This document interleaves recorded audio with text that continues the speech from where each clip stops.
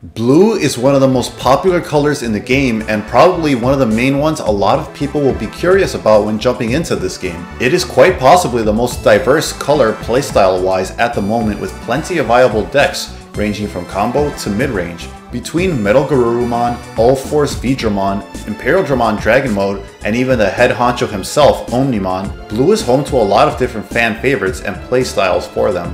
Let's start with aggro. Similar to Red, the most popular blue playstyle at the time of writing this video is a turbo build focused Omnimon deck. Omnimon's effect to destroy any Digimon and all copies of it on the field paired with its 15k DP makes him very oppressive to go up against, so any deck that can get fast access to him will run it. Run cheap vanillas to get to him quickly, you know the song and dance by now. I previously mentioned blue is the most popular build for Omnimon Turbo because it does it better than red. That is because Blue has an easier time swarming the field and has better fallbacks. Booster Set 1 Metal Garurumon's effect helps swarm the field by playing a Digimon from its stack when attacking. Leopardmon has a similar effect when digivolving. This creates pressure that is hard for your opponent to handle as you keep strengthening your board while they're already busy trying to handle the horrifying demon that is Omnimon. Blue also has quite a few good jamming Digimon. Jamming lets you survive battles with Digimon stronger than you during security checks, so you only have to worry about option cards that destroy or remove. This lets you be more aggressive with security checks with less risk of losing your board presence. Blue's jamming strategy is so aggressive that it currently has the only jamming level 3 rookie at the time of this video.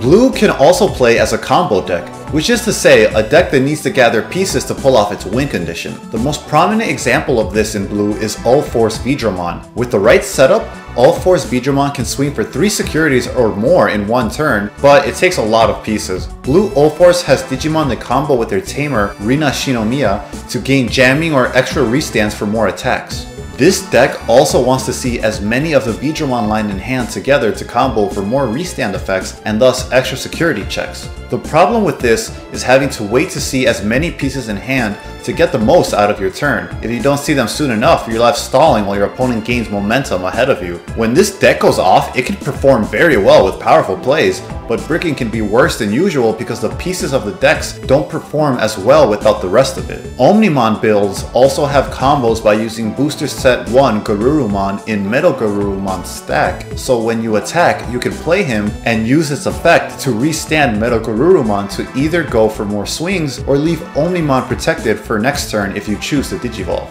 If you're a fan of combo decks, blue will have the most variety for you to choose from. One thing to keep in mind, however, is that there currently isn't a lot of cards in the game that search through your deck. There's no traditional search your deck cards like in other games at the time of this video either. All searching in this game is typically done by looking at the top few cards of your deck and grabbing what the effect on the card says to, putting the rest on the bottom of the deck. So blue relies on draws from evolving and cards like Upamon to keep going through the deck for combo pieces. Because of this, you really have to build for consistency rather than building with specific matchups in mind. And if you have bad luck, it could be a drag to get your duel back on track. The last aspect worth mentioning in Blue is Blue's evolution strip mechanic. Gaining effects from digivolving is important in this game. Blue has effects that can remove the sources to weaken your Digimon. This playstyle can range from mid-range, strategically poking away at sources and security while your opponent is weakened, all the way to a control playstyle with cards like Shakomon dictating what your opponent's Digimon can do without Digivolution sources. This is probably the most underpowered playstyle of Blue at the moment and least played,